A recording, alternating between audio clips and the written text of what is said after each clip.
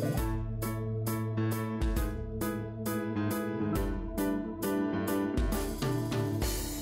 class, welcome to Math is Fundamental. Today we're going to be talking about areas of trapezoids, rhombuses, and kites. So let's start with our first formula. We have area of a trapezoid. So here's a picture of a trapezoid.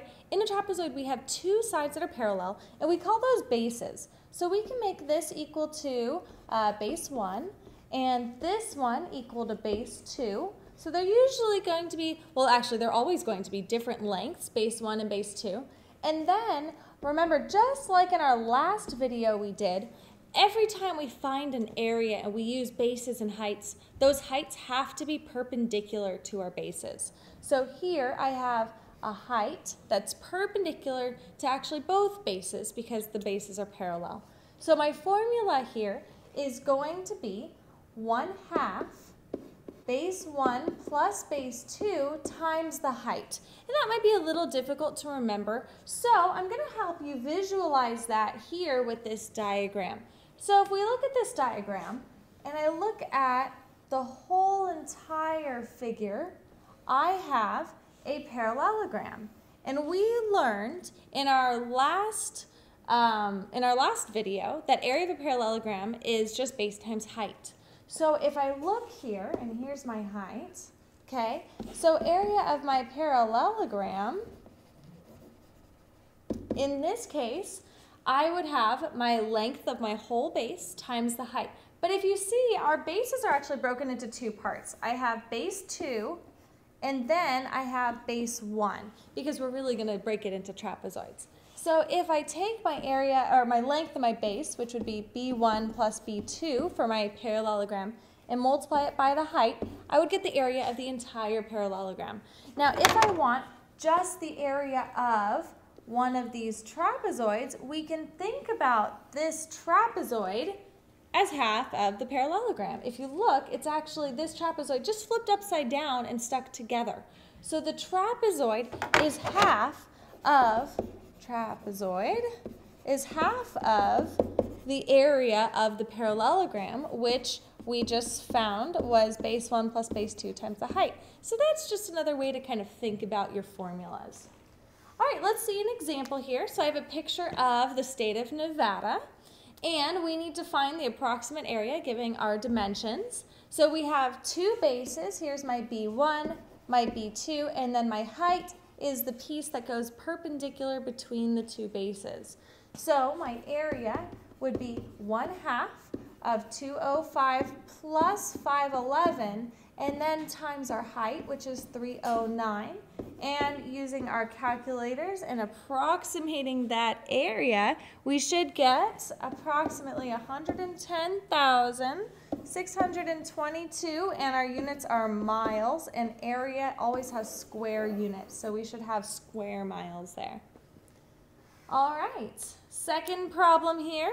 We're going to find the area of this trapezoid but if you notice we have our base 1 and our base 2 but they don't give us the length of the height but they give us an angle of 60 degrees. And if you remember back a few uh, lessons ago, actually a good number of lessons ago, we talked about special right triangles. And our 30, 60, 90 special right triangle has a way for us to find the lengths of, of pieces of the sides, even if we just know one side. So if we look at this diagram, I have 5 on the top, which means this section is 5, and this section of my right triangle is going to be 2.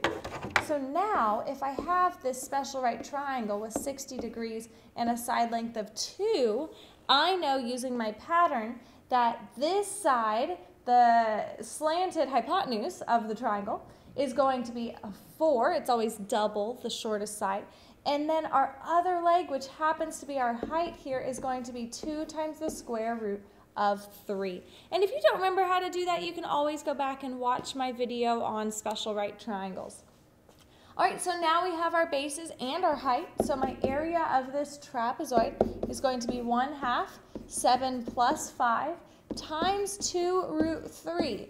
So I have 1 half of 12 times 2 root 3 which is 6 times 2 root 3, which is 12 root 3. And we always, always put our units, which in this case are meters, and it's area, so we square our meters. All right, so there is our area of our trapezoid. Moving on to the rhombus. So just a little review on properties of a rhombus. We know that the diagonals of a rhombus are always perpendicular to each other. We also know that the diagonals bisect each other. So if we look at this picture of a rhombus and we have these diagonals bisect each other and these diagonals bisect each other and they're perpendicular, we end up with four congruent triangles. So let's look at this and see if we can figure out how to find the area without even knowing the formula. So if I know that one of my diagonals is 4 and it's been bisected, then I know that this part's 2 and this part is also 2. And I can take my other diagonal, which is 6, bisect it, and that's going to be 3 and 3 here. Now, my area of one of the triangles is 1 half base times height, which is going to be 2 times 3 in this case because they're perpendicular to each other.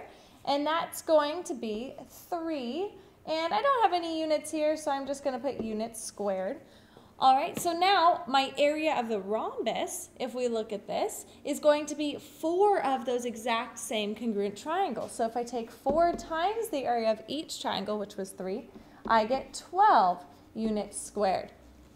Now, that was kind of a long way around it, using our area of a triangle. To get the area of a rhombus diagram, we actually use the, or formula, we, all, we use the diagonals. So if we look at these two diagonals, we have 4 times 6, if I, or 4 and 6. If I take and multiply them together, I get 24, which just happens to be double the area of the rhombus. So my area of a rhombus, if I want to use my diagonals, D1 and D2, D2, it doesn't matter which one is which, they're just both diagonals. I can take one half of the product, D1 times D2. So nice short little formula if we're given the diagonals of our rhombus. Okay, now let's look at our kite. So before we do a couple examples, we're just going to look at both of them. So let's draw the longer diagonal of the kite all the way across. And if we know our properties of a kite, I know that those two sides are congruent and these two consecutive sides are congruent. And of course, this would be congruent to itself. So we end up with two congruent triangles here. So if I wanted to find the area of one triangle, I could have my base here, which happens to be a diagonal. So I'm going to call this D1 for diagonal. And then let's just label this with H for height. So my area of one of my triangles would be 1 half diagonal 1 times the height. But if we think about the height that I just drew, if I extend that and we know that the diagonals are bisected, then this is actually our other diagonal. So where h equals half of d2 or d2 equals 2 times the height. So if we want to find the area of the whole kite, I can take the area of one triangle and double it. So the area would equal 2 times 1 half times d1 times, and then instead of h, I'm going to use this, 1 half d2. So I'm going to put it all in, um, in relation to the diagonals. So my height was half of my second diagonal. All right, now if we simplify this, I end up with 2 times 1 half cancels out, and then I have 1 half d1 times d2. So if you notice, this is the same formula as d1, d2, as the rhombus. So they just happen to be the same. You know what? Let's color code these. So D1 is blue, D2 is red. There we go. All right, so let's just do one quick example. If I'm given this kite and I need to find the area, I'm going to find the length of my diagonal. So sometimes they're split up. You got to add things together. So 3 plus 3, that's going to be 6 meters. And my other diagonal is going to be 7 meters. So my area is going to be 1 half 6 times 7, which is 21, and our units are meters squared. All right, and that concludes our lesson for today. Thank you so much for watching, and remember, math is fundamental.